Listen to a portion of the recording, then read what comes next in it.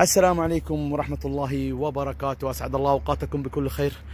آه الله يعطيكم العافية والصحة اليوم معاي لكم طريقة تنفيخ الفلاتر أو تركيبها بعد تنفيخ الفلتر. إيش المفروض أنك تسوي؟ أهم نقطة بعد تنظيف الفلتر. طبعا آه ما ما أخفيكم آه سر أن تنفيخ الفلاتر أهم حاجة في البوكلينات في المعدات بشكل عام. إذا ما نفخت الفلتر الماكينة حبة حبة بتاكل بيكون عليها ضغط وبتاكل التراب بيدخل على جوا وبعدين بتبدأ تنقص زيت.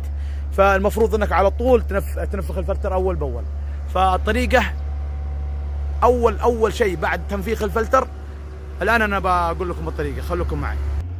لو لاحظنا لو لاحظنا من الداخل هنا حتلاقي التراب كله مجمع هنا لكن الفلتر نفسه حتلاقيه جديد.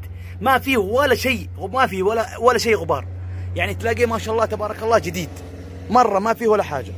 يعني جديد جديد مهما نفخت مهما ما يطلع منه تراب. فإيش الفكرة؟ إيش الفكرة المفروض إن نسويها؟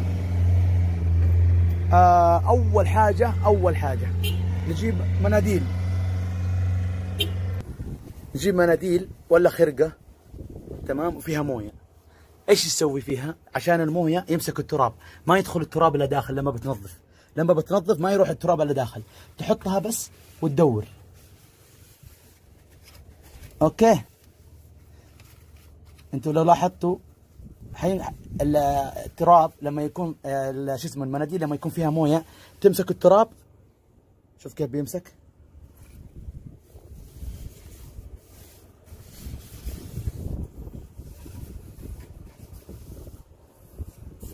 بدل طبعا كثر مناديل أو ارفعها زي كذا ونظف وخليك على ما أنت عليه زي كذا إلى ما تخلص. هذه أهم مرحلة. كده كان غطينا الفتحة هذه بس ما هي مشكلة لأنه الموية قد أصلا بيسحب التراب بيمسكه ما بيروح على جوا. ف اهم حاجة تنظف مظبوط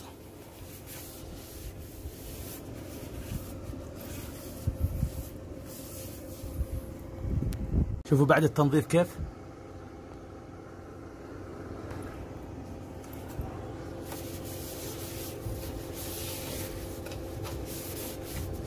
ما شاء الله.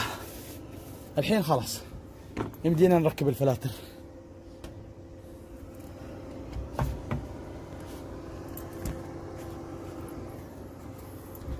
خلاص دحين خلاص الفلتر ركبناه. كذا انتهينا. إن شاء الله بإذن الله استفدتوا من هذا الفيديو. لا تنسون ال like وال share وال subscribe. آه فعلوا زر التنبيهات. آه محتاج دعمكم. الله يعطيكم العافية والصحة وشكرا